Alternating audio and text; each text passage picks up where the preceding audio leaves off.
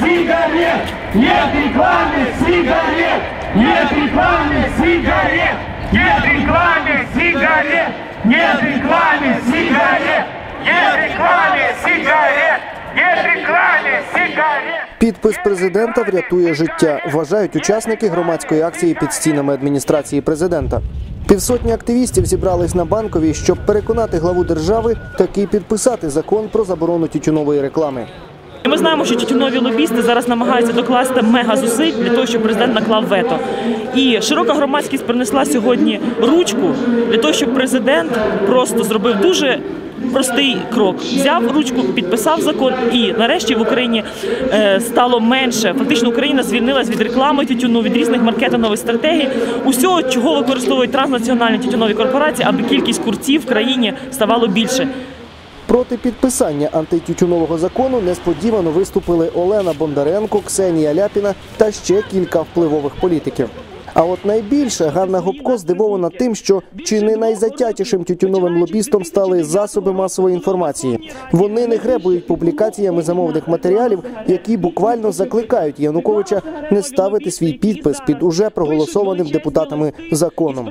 і ти не встигаєш навіть моніторити, як різні проплачені тютюновими компаніями експерти починають надавати свої ко- рекомендації, і політологи, говорять, що президент, президенту цей закон не додавить ні популярності, нічого. Але тут симпатії медійників розділилися, бо крім лікарів, учителів, священників і спортсменів, під стіни президентського офісу прийшли і журналісти. У мене був колись хлопець, який курив. Мені було дуже з ним важко, але це було давно, слава Богу.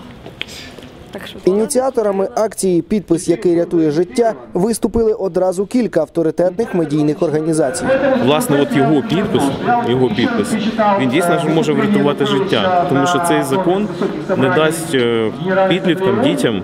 Е, Просто почати курити за того, що на кіосках є розмальовані там яскрава реклама, яка просто показує, що це шикарне життя, коли ти куриш, що це поїздка там в Париж, там Звичайно, ми теж прийшли підтримати, оскільки ми входили до робочої групи, яка готувала цей текст, і безпосередньо переймаємось тим, щоб закон був прийнятий саме в тій редакції, яка найсильніше захищає українських громадян.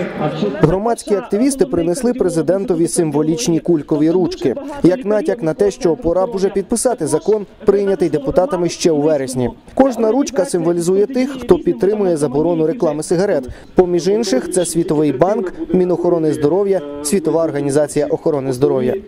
Чи дослухається президент до вимог, озвучених на акції, достеменно невідомо.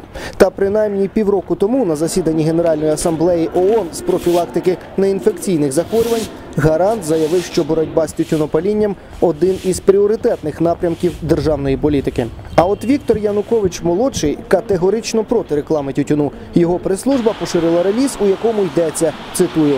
Паління не має рекламуватися як модна стильна звичка. У світі цього вже немає. Кінець цитати. На думку народного депутата, резонанс, викликаний затримкою у підписанні закону, свідчить про високу підтримку громадськості. Отже, справа тепер за Януковичем старшим.